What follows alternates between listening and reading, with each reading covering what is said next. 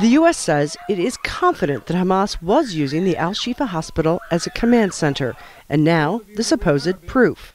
Totally confirmed, without any doubt.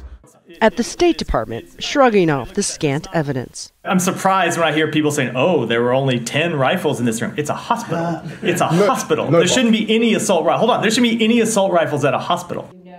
At the Pentagon, also still standing by the undisclosed intelligence it says it has. Yes. Hi, you keep talking about the intelligence in the past tense, that you believe, the intelligence believes Hamas has used hospitals. Do you have intelligence that they currently are? I have only the intelligence that I read out, the downgraded intelligence that I read out yesterday, um, or sorry, I'm I'm sorry, on Tuesday.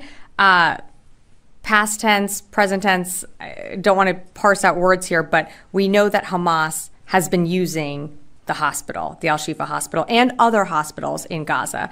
Um, I'm not going to get into more specifics on, you know, what they're doing now, whereabouts, all of that. We know that the IDF has taken control of Al Shifa Hospital, um, so I don't have more to to share with you on that front. It matters because under international law, you have to have proof that a uh, combatant is is currently right then in that moment in the hospital in order to strike. Yeah. yeah. Again, when I read out the downgraded material, we felt very confident that Hamas was using that hospital um, to conduct its operations. This is what they found. While the Biden administration is trying to downplay the lack of evidence presented to the public, experts say it could have a decisive impact on the future of the war. This is really a turning point because if it turns out the Israelis are wrong, I think the pressure is going to be on them to have a ceasefire, which is a good step because it will stop the killing at least temporarily while we the diplomats can work out some sort of arrangement.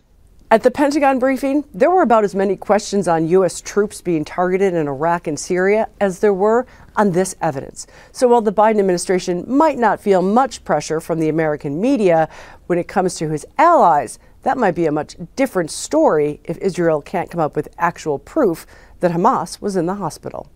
Patty Culhane, Al Jazeera, at the Pentagon. Make sure to subscribe to our channel to get the latest news from Al Jazeera.